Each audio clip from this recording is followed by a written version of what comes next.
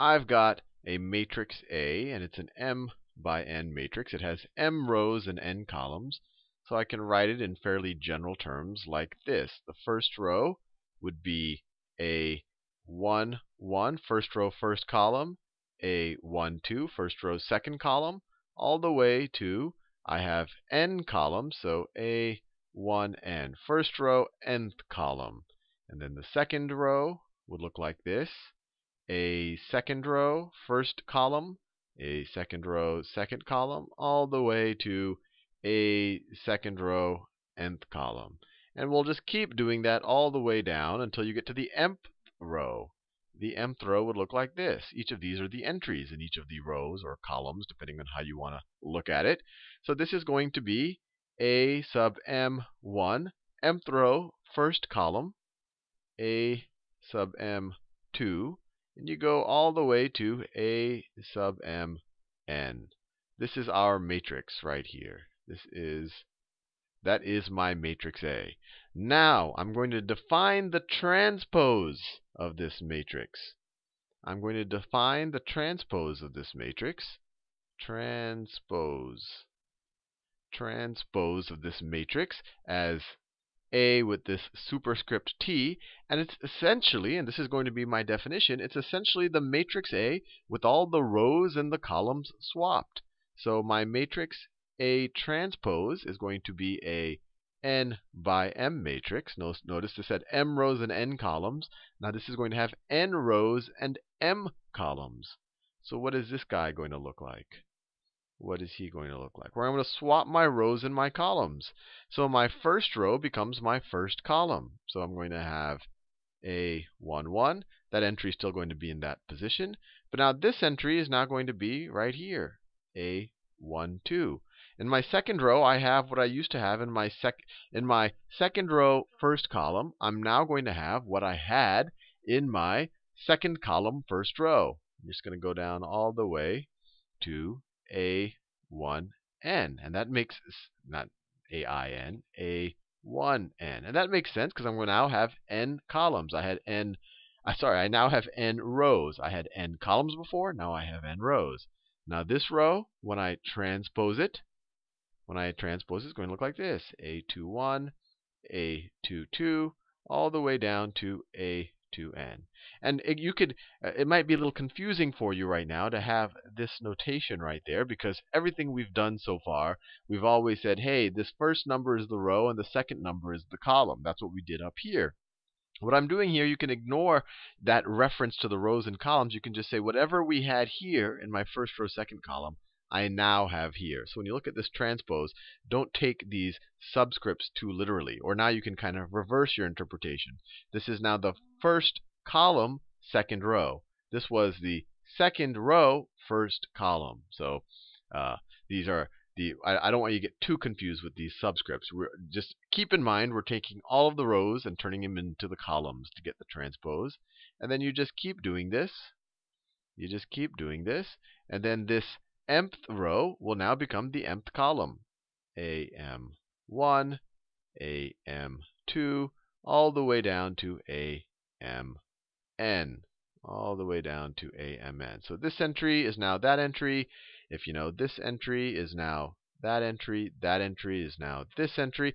I think you get the idea. This is what a transpose is. And sometimes when you do it in the abstract, it can be a little confusing. And we'll especially appreciate that once we do some of the proofs involving the transpose. But actually taking the transpose of an actual matrix with actual numbers shouldn't be too difficult.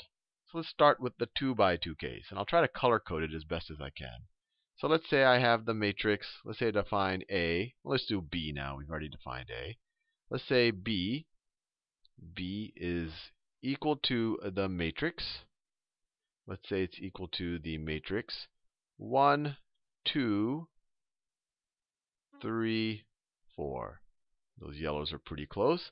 But what is B transpose going to look like? B transpose is going to be equal to, you switch the rows in the column. So the first row will now become the first column, 1, 2. And the second row will now become the second column, 3, 4. Or you could view it the other way. The first column now became the first row, and the second column now became the second row. Let's do an example. Instead of even doing a 2 by 3, let me or a 3 by 3. Let me do one that might be a little bit more, a little more challenging. I think this will make things clear. So let's say I have the matrix C. Let me say I have the matrix C right here. And let me make it a pretty big matrix. Let's say it is a 4 by 3 matrix right here. So let me just throw some numbers in there. 1, 0, minus 1, 2, 7. Oh, I want to do it in different colors. Let me do that in a different color. So then I get 2, 7, minus 5. Then I get 4, minus 3, 2. And I have to do one more row here. So let me just make that minus 1, 3, and 0. That is my matrix C. So what is, let me do that in, I like to be aesthetically pleasing, so let me close the bracket in the same color. So what is C transpose going to be? So C transpose, let me do that in a different color. C transpose is now going to be a 3 by 4 matrix. And essentially, it's going to be the matrix C with all the rows swapped for the columns, or all the columns swapped for the rows. So it's now going to be a 3 by 4 matrix. It's now going to be a 3 by 4 matrix. And that first row there is now going to become the first column. 1, 0, minus 1. The second row here is now going to become the second column. 2, 7, minus 5. I didn't use the exact same green, but you get the idea. This third row will become the third column. 4, minus 3, 2.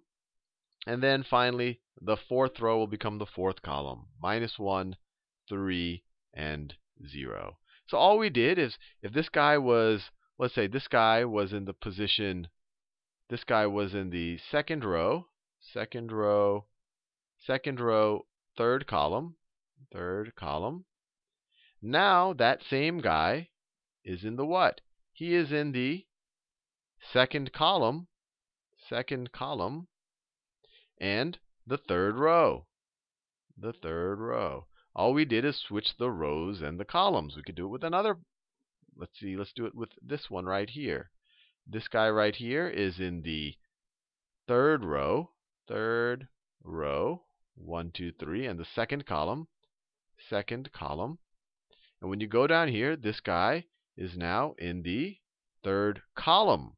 Third column. And the second row. And the second row.